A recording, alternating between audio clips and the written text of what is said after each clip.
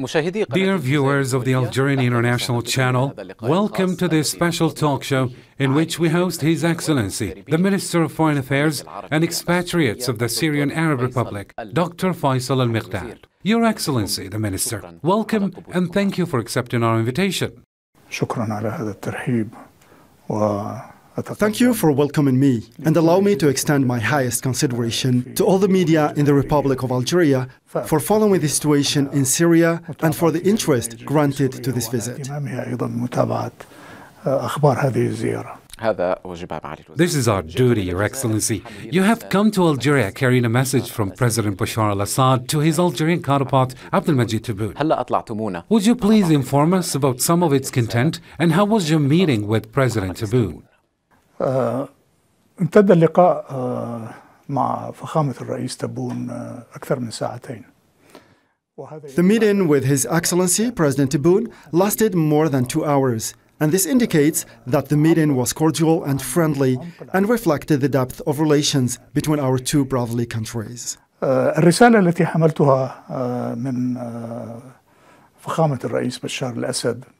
The message I carried from His Excellency President Bashar al Assad was a message of friendliness and cordiality, through which President Bashar al Assad expressed his highest esteem for His Excellency President Abdelmajid Tebboune and for the Algerian people for all what this great people has given to Syria since the onset of the crisis in 2011 until now.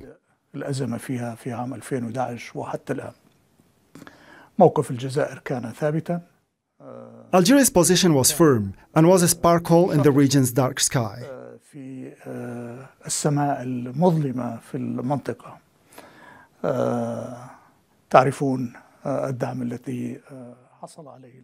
You know the support received by armed men, killers, and arms dealers in the region, and the political and media misinformation that took place. Therefore, the message of President Bashar al Assad was a message of cordiality to the Algerian leadership and the Algerian people. رسالة محبة إلى القيادة الجزائرية وإلى الشعب الجزائري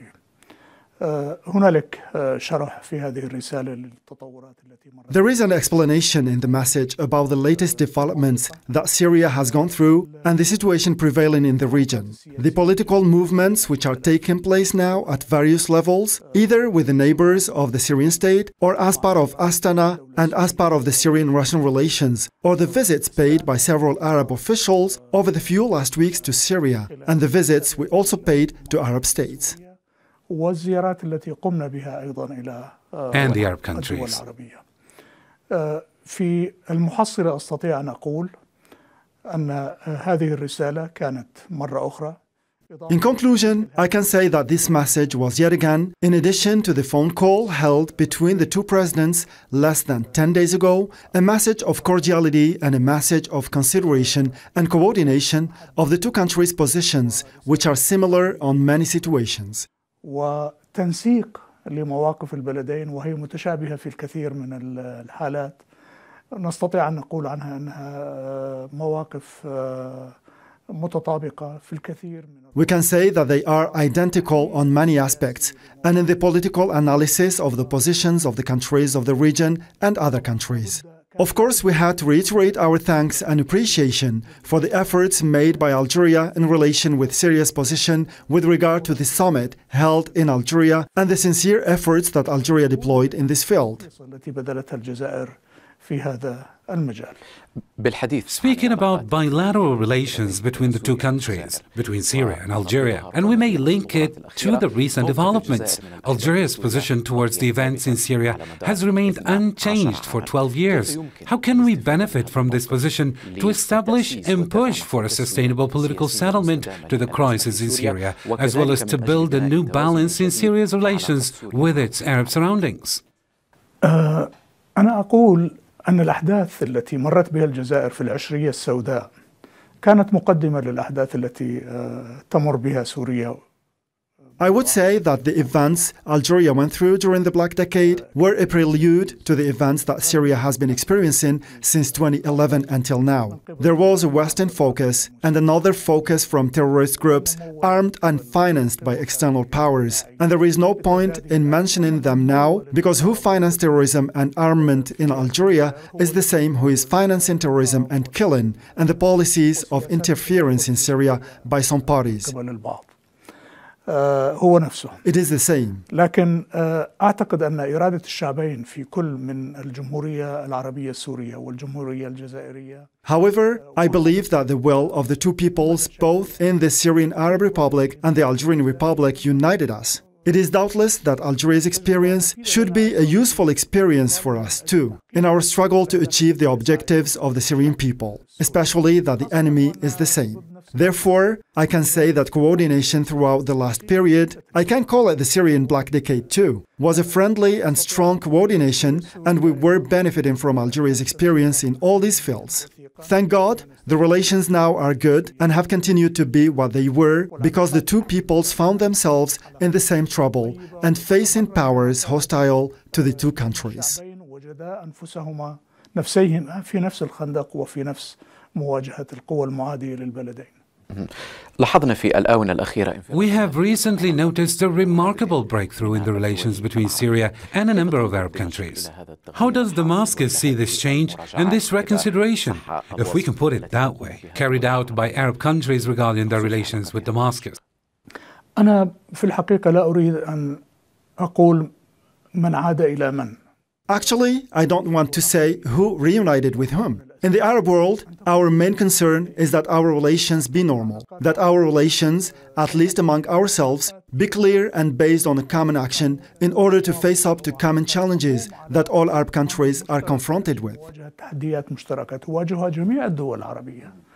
لذلك أنا أقول أن الزيارات التي قمنا لبا- Therefore, I say that the visits we pay to some Arab countries and the visits paid by some Arab officials to Damascus had the same objective and same goal, which is normalizing relations among Arab countries. Why relations are normalized with all countries of the world and are not normalized with us, the concern? Because the stronger the relations among Arab countries are, the stronger our international relations will be, and we will be more capable of overcoming the challenges we are facing together.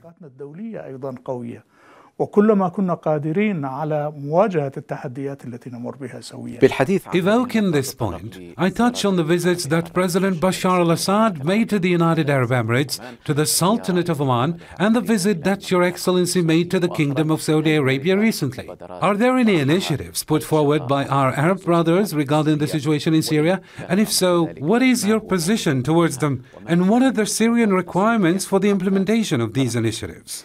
أنا لا أعتقد أننا نفرض شروط على أشقائنا العرب I don't think that we impose conditions on our Arab brothers. All Arab countries know that what happened to Syria could happen to any Arab country. Syria was the beginning. For this, we say that these visits came based on the will of all the parties to turn the old page and open a new page in Arab Arab relations. طي هذه الصفحة التي مررنا بها وفتح صفحة جديدة في العلاقات العربية العربية وجدنا جميعا أننا ضعفاء أمام هذه التحديات We all found out that we are weak in the face of these challenges that are targeting us one after the other. If they take down an Arab country today, tomorrow will be another Arab country and a third Arab country. So we understood that our common interests and our development and putting an end to the genuine aggressions perpetrated against the Palestinian people and our Arab countries, the challenges imposed from abroad, the dictates imposed by some foreign countries, and the red lines drawn by some foreign countries on our Arab Arab relations should not exist as part of our respect for our sovereignty and as part of our respect for our freedom and in choosing the development path that we must all follow. وفي إطار احترامنا لحريتنا وفي آه، اختيار الطريق الطريق التنموي الذي يجب أن نسير به جميعا وهذا يخدم جميع الدول العربية This serves all Arab countries. Therefore, I do not want to talk now in detail about what happened in these meetings, but we found more Arab understanding and we found more Arab understanding on the nature of what we all went through and that this may be reproduced in any place in the Arab region. وأن ذلك قد يتكرر في أي مكان من المنطقة العربية هل يمهد Does هذا this understanding pave the way for Syria to attend the next Arab summit? أولا هذا يذكرنا Since there's been a lot of talk about this point. بالحديث This reminds me of the talks that started about Syria ahead of the Algiers summit. There were important visits for us and our Algerian brothers between the two countries and among Arab countries. President al-Assad made a statement about this summit in which he said that the importance of this summit rests with holding it in Algeria.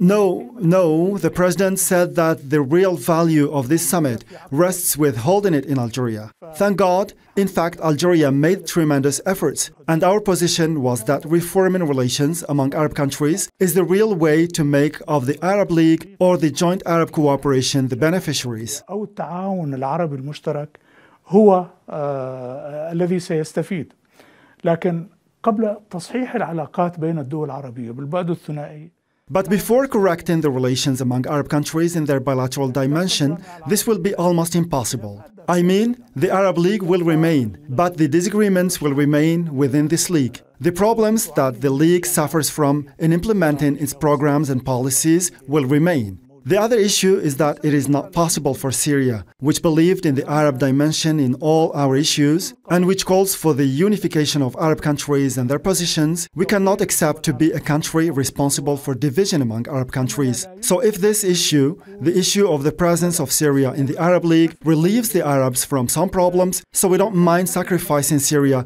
for a short period of time for the sake of Arab reunification. من بعض المشاكل فلا مانع من أن نضحي بسوريا لوقت قصير من أجل إعادة لم الشمل العربي.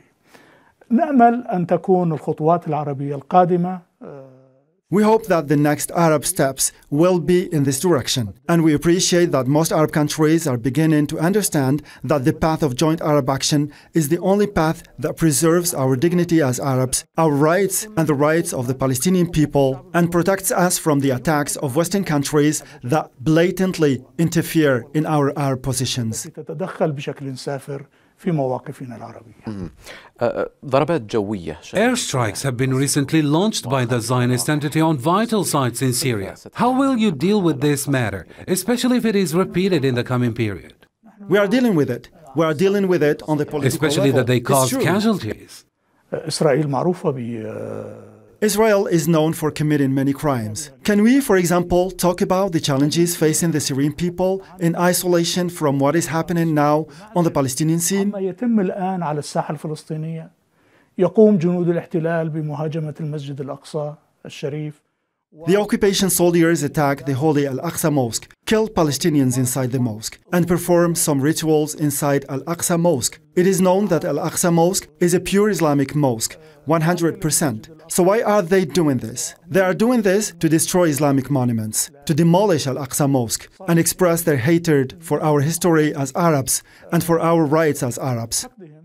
على تاريخنا كعرب وعلى آه، حقوقنا ك- كعرب لذلك آه، أنا أقول بأننا عندما ندعم الشعب الفلسطيني فنحن نرد على هذه Therefore, I say that when we support the Palestinian people, we respond to these Israeli attacks. When a fighter from here or there respond to the attacks, we in Syria carry out activities to support everything that serves the confrontation that will eventually lead us to achieving our aspirations. Whether it is in recovering the legitimate historical rights of the Palestinian people, and we are in favor of the unity of the Palestinian people in this field. كان ذلك في آه، استعادة الحقوق التاريخية المشروعة للشعب الفلسطيني ونحن مع وحدة الشعب الفلسطيني في هذا المجال ثانيا آه، فيما ي- آه، يساهم في إعادة Secondly, in what contributes to returning the Syrian Arab Golan to its mother country, Syria, and the remaining occupied lands of southern Lebanon. So we respond. We do not rely much on propaganda in this regard.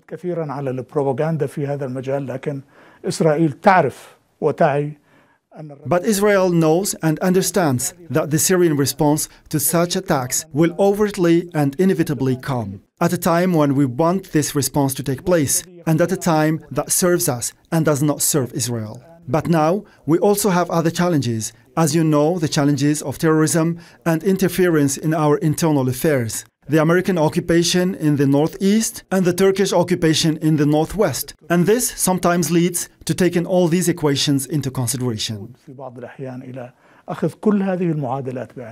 One last question, so as not to take much of your time, Your Excellency. In the light of all what you mentioned, how do you see the future in Syria?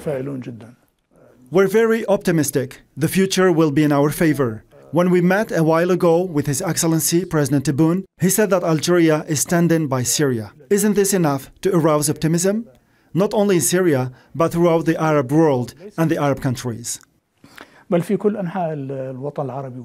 How did you find President Tebboune? He was great.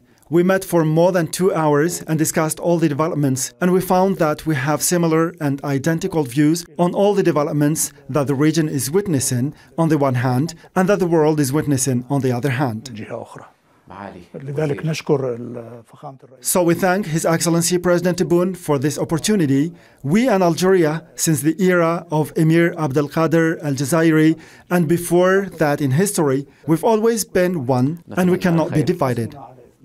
We wish the best for the Algerian and Syrian peoples. Your Excellency, Minister of Foreign Affairs and expatriates of the Syrian Arab Republic, Dr. Faisal Al Miqdad. You are a distinguished guest to us. Thank you for accepting our invitation. Dear viewers, with this, we come to the end of this show. Thank you for watching and goodbye. Thank you. Thank you very much. Thank you.